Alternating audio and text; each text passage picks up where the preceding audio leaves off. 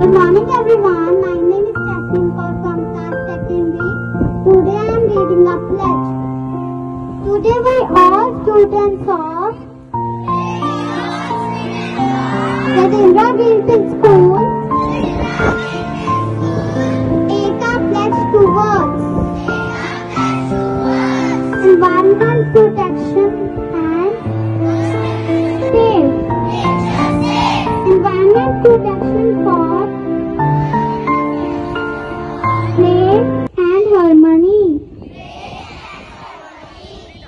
Plant more than one.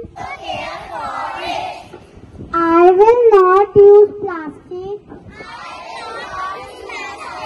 or will not burn it.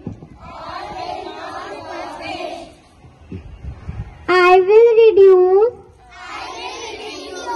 the use of material